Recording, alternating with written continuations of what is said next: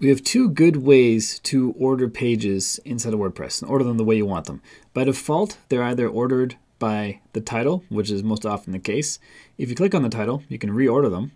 It goes alphabetical or reverse alphabetical, or the date. You can sort them by that, or comment number if there's posts with more than zero comments like we have here, or any other column you have present here, you might be able to sort by that column. But if you want to have a specific sorting order, you have two ways of doing it. One's the easy way, one's the hard way. I'm going to show you the hard way first. So the hard way is without a plugin. Just going to reorder this by title. And we want to know, or we need to know, how many pages we have. So we have six published pages, eight in total. And we also want to know what our ordering needs to be. So you need to plan this out in advance. If you have lots of pages, it's going to be way harder than if you have a few pages.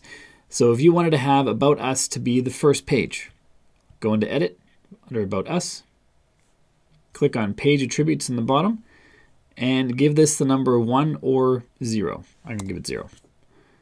And then click on publish or update, whatever that button happens to say for you.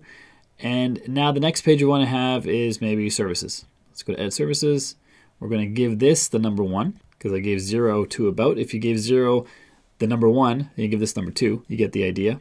And now we want to have, let's see, terms of service as the second, or sorry, third one. I'm going to order it or call it number two, which for me is number three. If you have any experience with programming, you'll understand the starting at zero. If you don't have experience with programming, starting at zero doesn't make a lot of sense, but that's just how it is.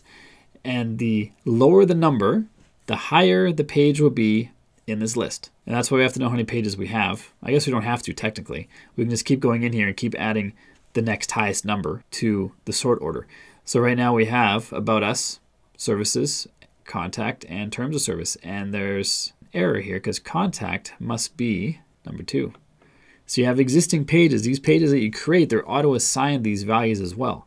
And so that's something you have to fight with when you're ordering these. So these ones I ordered just now, about us, services, terms of service, and contact by entering those numbers in the sort order. And that can be super painful if you have a lot of pages. Even if you have a few pages, it's painful. Let's say make another page a month from now and you want to have that in the fourth position. Well, then you've got to change it to number four or number three, depending which method you choose. And then you have to update every page after that to make sure that they're all lined up again in the right order. And that's just a headache you probably don't want. But that is an option if you don't want to install a plugin. Method number two, which I'm calling the easy method, is using a plugin. If you like this video and you find it helpful, this is a great time to tell me by subscribing and clicking the bell button so you don't miss future videos. And if you have any questions or comments about this video, please leave them down below. I try to answer them the best I can. Now let's get back to it. So let's go to plugins and then add new. And let's look up simple page ordering.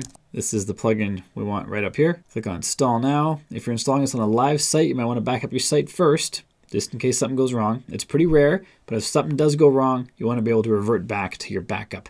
I have a tutorial down below in the description if you need help with your backups. If you don't need help, that's awesome. Just make sure you do a backup first. Click on activate when you're ready to activate the plugin. And now we go to pages. Visually, nothing has changed. We still have the sort order we set manually just a moment ago. But if we hover in an area that doesn't have links, we can click and hold because we see that four-way arrow. We can click, hold, and drag. We can move pages around however we want and this might actually be updating those page order values for us. Move terms of service to the top. I'm going to click on edit to see if it's changed. And it is. Now it's number one. You can start at zero or number one for those. If I move store to number two, I should first go to edit. Store right now is number eight. Now if I drag and drop it up here, now store is number two. So it's updating the exact same thing. It's just making it way easier to update the exact same thing. The drawback is you now have a plugin installed. The, the bonus is if you're happy with how you've ordered things, you can then go and uninstall the plugin and the order you set will stay the way it is. Now, if you want to reorder things in the future, just reinstall the plugin and do it all over again. I'm going to confirm that in just a second. First, I'm going to see if we can order our posts. It's only one here. Let's add another one. And we are not able to order our posts with this plugin, but we can order our pages. So I'm going to uninstall this plugin now. We're going to see if terms of service and store. Let's make sample page number two. We're going to confirm that this is still the order that they're going to be in when I uninstall the plugin. So let's go to plugins, deactivate, delete, go back to pages. I'm going to control shift refresh or command shift refresh for hard refresh. Do that a few times, and that order is still there that we set with the plugin. So you can install the plugin, use it, and then uninstall it when you're done and then reinstall it in the future if you need it again. And this video is part of the WordPress skills playlist on my channel. That playlist is all about getting up to speed with WordPress if you're new to WordPress. There's a link to that playlist right up here in that card. Click there to watch the whole playlist, or click down here to watch a video that shows you how to create jump links and add them to your menu systems. And if you haven't done so yet, make sure to click subscribe and ring the bell so you don't miss any future videos. My name is Bjorn from WP Learning Lab. Till next time, keep crushing it, and I will see you in the next video.